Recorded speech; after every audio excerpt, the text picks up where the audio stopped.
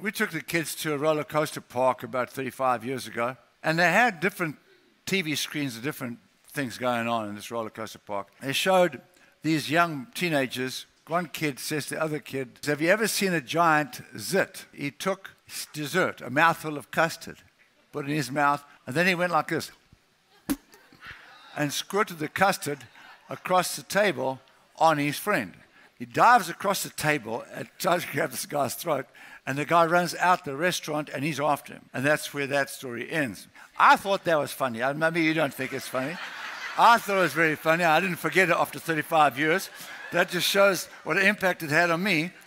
So, so, so changed my life. So, the lesson I learned from that is watch out for people with full mouths. Okay.